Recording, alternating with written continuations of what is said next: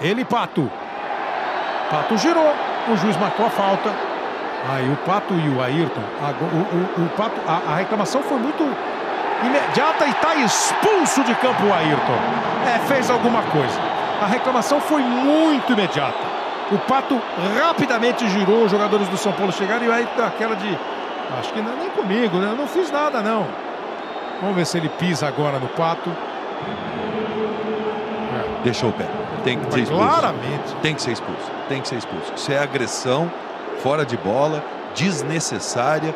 Olha, realmente isso não vai custar um ou